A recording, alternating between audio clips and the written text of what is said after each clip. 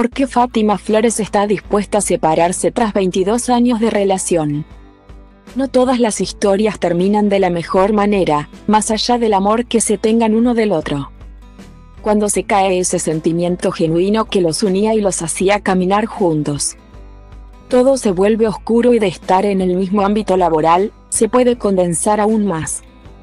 Fátima Flores está atravesando uno de los peores momentos de su vida, el cual tiene que ver a una separación inexorable con su pareja Norberto Marcos, también productor de su show teatral. Según contaron en Intrusos la pareja está en un tobogán de malos momentos y que la ruptura es el final del túnel. Nancy Duré, una de las periodistas del programa que se emite por América, contó detalles de lo sería una crónica de una separación anunciada si se estuviese hablando de un título lo Gabriel García Márquez. La pareja está en una seria pero muy seria crisis.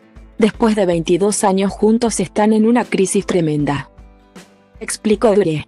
Luego agregó, me avisan que se suspende la función que tenía Fátima en Cosquín este domingo. Iba a ser el cierre de la temporada con una superfunción, estaba todo empapelado. Era la primera vez que iba a estar en la Plaza Próspero Molina. Ella estaba muy entusiasmada con esto. Entrando en más detalles, la periodista indicó que el staff que lleva adelante la puesta en escena del show sabían de esto porque los malos tratos entre Fátima y Norberto ya era a viva voz y adelante de quien sea. Se baja la obra, la gente se empieza a quejar. Alegaron que era por problemas técnicos. Decían que había una pantalla que no llegó, pero la cuestión es que dicen que toda la temporada los gritos y las discusiones entre Fátima y Norberto se escuchaban en todo el teatro.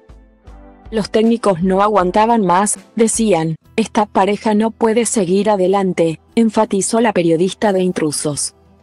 Al compartir trabajo y siendo ambos cabezas de mando, las discusiones se daban con normalidad pero cada vez más subidas de tono y terminaron dañando la situación sentimental de la pareja, porque si bien eran discusiones por trabajo, porque es el productor del espectáculo. Es el director también, la acompaña en todo momento. Pero esto asemella en lo que es la relación sentimental. Continúa y finalmente, concluyó, me dicen que la separación sería inminente. Ella se cansó que la manden todo el tiempo.